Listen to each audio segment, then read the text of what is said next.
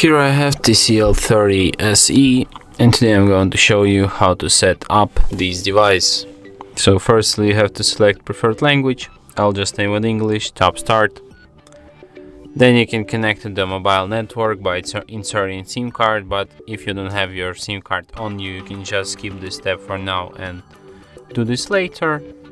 Then you can connect to the Wi-Fi, but you can also set up device offline and connect to the Wi-Fi later. Then you have Google services, disable all ticks here and accept Google's terms of service and privacy policy.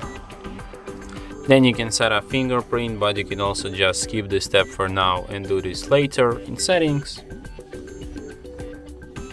Then you can set up face unlock, but you can also just skip this step for now. Then you can set up any other screen lock method, but you can just skip this step and do this later in settings. Then you have NXT Vision feature which makes image on your screen like look more colorful and beautiful but it will also uh, drain your battery fast so it's for you to decide if you want to enable this feature. I guess I'm gonna decline. Next. Then you have to select home screen style. Then you have to select lock screen style. Then system navigation method. You have buttons navigation gesture navigation. I'll select gestures and setup complete.